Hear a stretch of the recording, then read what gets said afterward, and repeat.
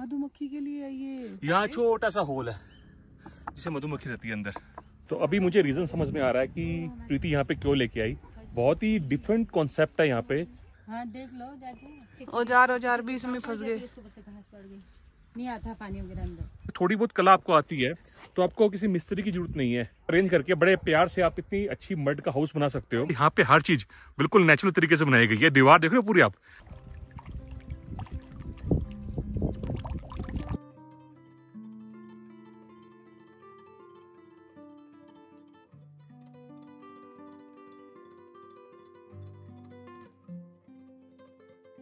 ओम सूर्य नमः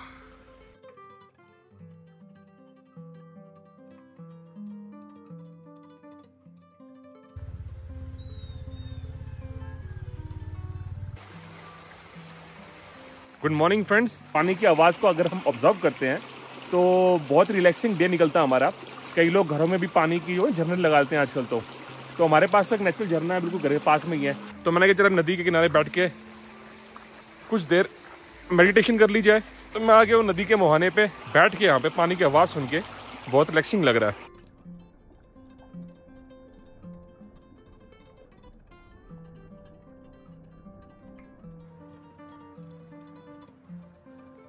तो भाई प्रीति कहाँ है? प्रीति घर पे ही है अभी। और मैं सुबह घर से निकल गया हूँ लंबी वॉक के लिए। और प्रीति मेरे को ढूंढ रही होगी, प्रीति को बता के नहीं आया मैं। चले भाई घर की ओर। इससे पहले प्रीति हमें ढूंढती रहे। अब नदी तो रहेगी नीचे।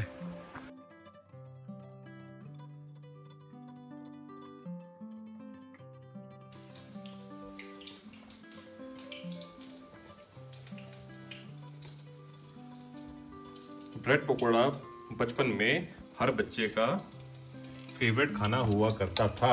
आजकल शायद कम होता है पर लवे गंगा का है। बचपन नहीं बड़ों का भी सबका फेवरेट रहता है। और खास करके जब लोग पहाड़ों में घूमने आते हैं ना तो सबसे पहले ब्रेड पकोड़ा देखते हैं। भाई समोसा ब्रेड पकोड़ा मिलना चाहिए। सुबह सुबह अपना पहाड़ों में गर्मा गर्म नाश्ता कर रहे हैं। ब्रेड पकोड़ा और पालक आलू का पकोड़ा थोड़ा गोभी का पकोड़ा एक मिर्च का। एक्चुअली मैं सुबह उठ के ना वॉक पे चला गया था मैं लंबी वॉक करके आया हूँ आज इसको पता नहीं है। मैं साढ़े छह उठ गया था फ्रेश होके दूध गाँव से भाई साहब दूध देने आते हैं हाची को वॉक कराई उसको मैंने छोड़ा थोड़ी देर के लिए। और हाची गोली हो गया। पहले ही बहुत पहले ही। से? फिर मुझे गुस्सा आया मैं क्या रोज भाग जाता है मेरे को छोड़कर तो आज मैं इसको छोड़ के भागता हूँ। तो मैं चला गया नदी की तरफ़। नमस्कार नमस्कार कैसे हैं?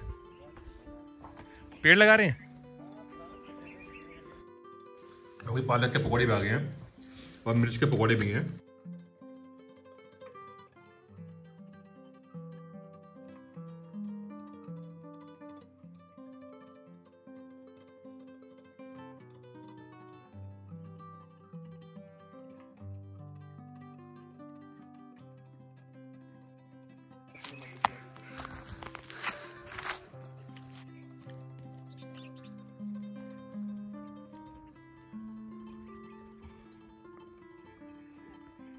तो आज काफ़ी काम हो गया बाहर का। चार प्लम के लगे ना टोटल। टोटल चार के लगे हैं। आज मैंने दो लगाए हैं। और दो किसने लगाए थे प्लम के? पता नहीं कोई आया था लगा गया कभी हमारे को भी क्रेडिट दे दिया करो।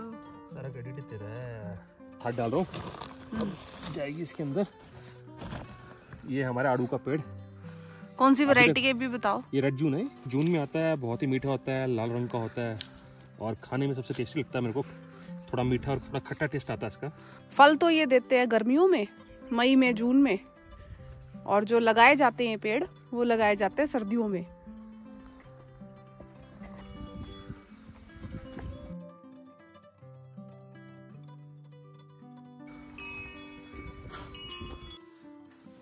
भाई देखो खुद तो तैयार हो गई है।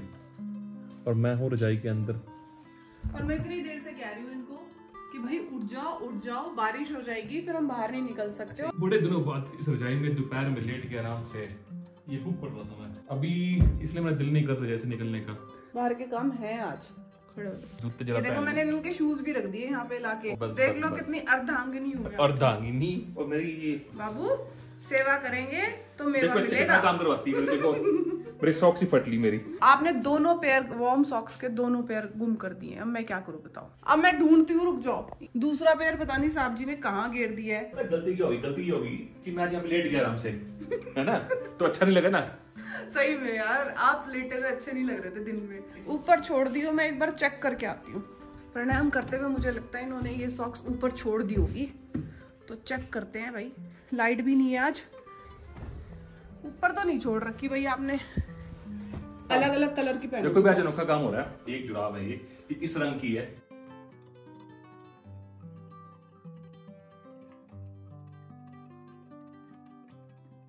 तो फाइनली प्रीति ने मेरे को भाई रजाई से निकलवाई दी है। बरसात का भरोसा नहीं है।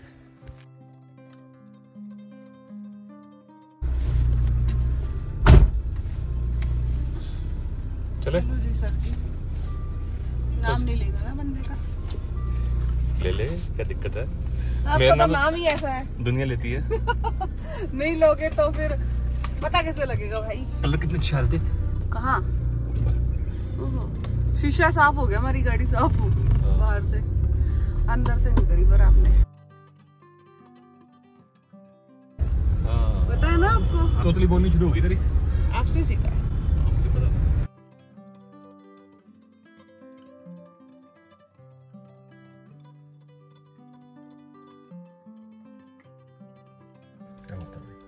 जरा नीचे। देखें जरा। प्रीति कह रही है ऐसा कुछ दिख गया है। देख लें क्या दिखाना है इसको? आओ जी। कृपया सावधानी पूर्वक चले यहाँ पाला व बर्फ़। आच्छादित क्षेत्र है। ध्यान से नीचे गोबर भी है। है?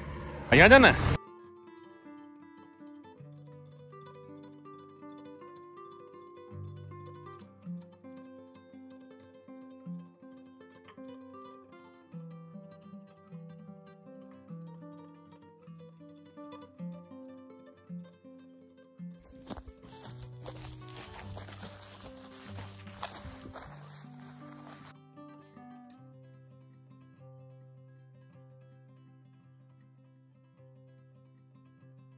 मधुमक्खी के लिए है ये मधुमक्खी। ये देखो ये मधुमक्खी के लिए बनाया हुआ है। पेड़ के तने को खोखला करके यहाँ छोटा सा होल है जिसे मधुमक्खी रहती है अंदर।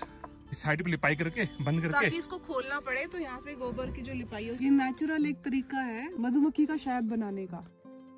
तो मैंने बजाया ना और मधुमक्खी मेरे मुँह पे आती तो। फिर तेरा नाक मोटा हो जाता।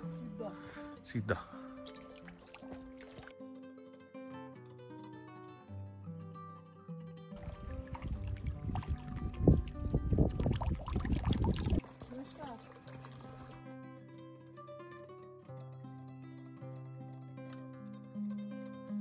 बीच में क्या है इसके? इसमें वो लगा रखे पतले पतले बाड़ा लगा रखे लिपाई कर जो पतली पतली डंडियाँ होती हैं हाँ जैसे प्लम की होती हैं आलू बुखारे की पर लंबी लंबी होती हैं। तो अभी मुझे रीजन समझ में आ रहा है कि प्रीति यहाँ पे क्यों लेके आई? बहुत ही डिफरेंट कॉन्सेप्ट है यहाँ पे जैसे घर बनाए हुए यहाँ पे। तो आप देखोगे कि बिल्कुल ये जो घर है नेचुरल है मड का इन पर लेप हो रखा है। पर मेन बात क्या है जैसे मैंने बताया हमेशा जो पहाड़ों में घर होते हैं ज़्यादातर जो पुराने घर हैं वो पत्थर के बने होते हैं। पत्थर की उसमें 18 इंच की दीवार होती है। पर इन जो घरों में कोई पत्थर नहीं लगा हुआ इन घरों के अंदर जो स्ट्रक्चर है जो इनकी बोन्स हैं वो सारी सिर्फ़ लकड़ी है। पतली पतली किस तरीके से इन्होंने ट्रिक्स को अरेंज करके और बीच में मिट्टी चिपका के मड का बीच में प्लास्टर कर रखा है जिससे आपका जो एक तो ये होगा कि हीट एंड कोल्ड प्रूफ हो गया। बेसिक फैसिलिटीज़ चाहिए। आपको रहना है गर्माहट चाहिए तो कुदरत ने आपको सब कुछ दे रखा है। लिपाई तो बार मिट्टी की है। हाँ देख लो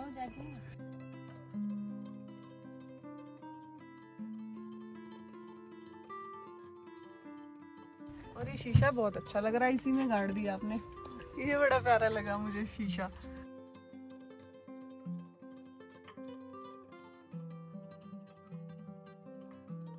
वही घास डाल के मोटी मोटी बाज की लकड़ियों से बीच में जोड़ दे रखा है। नहीं, नहीं आता है इसमें वो है तिरपाल डाल रखा है। तिरपाल इसके अंदर? ऊपर तिरपाल डाल दिया होगा ना? हाँ ऊपर तिरपाल डालना बीच में घास लग गई। औज़ार औज़ार भी इसमें फंस गए। नहीं आता पानी वगैरह अंदर। नहीं आता है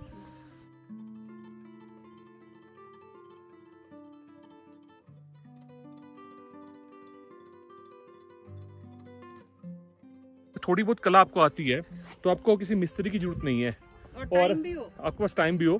तो ये आसपास के जो रिसोर्सेज होते हैं जो हमारे पहाड़ में सब कुछ होता है उसमें डंडियाँ छोटी छोटी जो कटिंग होती है उसके बाद जो लकड़ी निकलती है थोड़ी थोड़ी उसको अरेंज करके बड़े प्यार से आप इतनी अच्छी मड का हाउस बना सकते हो। ये वही लाल मिट्टी है जिसका मैं चूल्हा लेपती हूँ और हमने जो दीवारों पे अपने प्लास्टर किया हुआ ये वही लाल मिट्टी है जिसकी वजह से ये जो पकड़ है ना ज़्यादा अच्छी आ जाती है।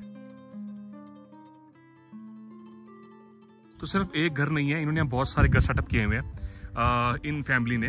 बिल्कुल नेचुरल तरीके से घर बने हुए हैं आप देख सकते हो उधर।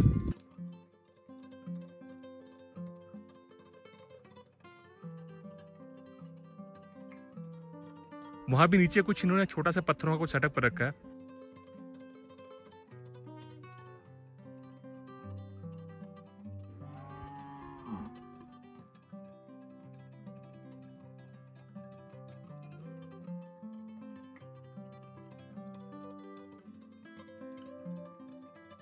ये कितना बढ़िया बना रखा है। लकड़ी का। साइड पे देखा दीवार देखी लकड़ी की? और उधर देखो लास्ट में पत्थर की। हाँ एक साइड पे। पत्थर की दे दी। हाँ, और यहाँ पे कितनी लीदें पड़ी हैं? खाद की खाद। वो कहते हैं कुदरत इंसान को सब कुछ देता है। अगर उसको यूज़ करना आना चाहिए।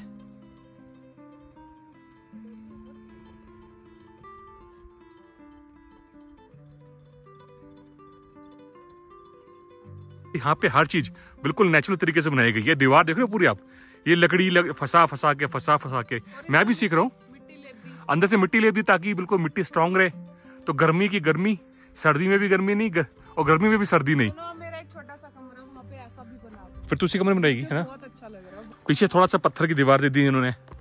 बट ये सोचो ये काम करने में मज़ा कितना आता है। पर जब नेचुरल तरीके से नेचुरल जगह पर रहोगे तो उसका इफ़ेक्ट अलग ही होता है। हम पूरी तरीके से इस जगह पर तो नहीं रह सकते बट फिर भी हम प्रयास कर सकते हैं कुछ ऐसा छोटा सा कमरा बना दें।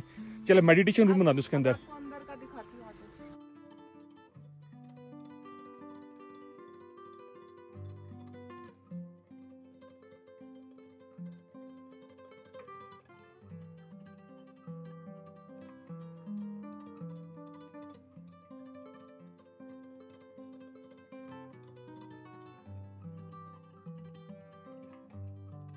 और ऊपर जो छत देखोगे आप डंडियों पे कांच डाल रखा है। और इसके ऊपर अगर आप देखोगे तो कांच के साथ साथ ख्याल तिरपाल भी है ऊपर पानी अंदर नहीं जाएगा। तो पहले नीचे लकड़ी होगी है ना? लकड़ी का फ्रेम हो गया नीचे फिर एक कांच होगी ऊपर फिर डाल दी तिरपाल फिर उसके फिर कांच डाल दी इसके ऊपर।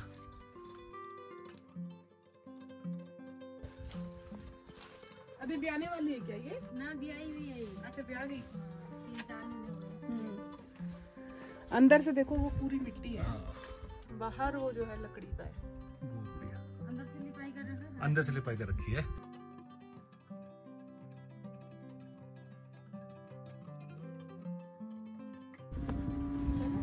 तो भाई निकले थे घर से किसी और काम से पहुँच गए कहीं और।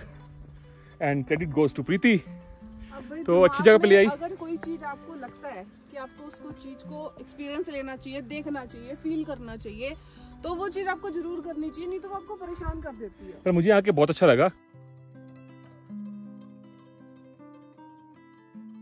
जो चीज़ चाहिए हमें वो सब नेचर मिल जाता है। ज्ञानशाली ज्ञानशाली? एक नई टर्म प्रीति ने यूज़ की ज्ञानशाली।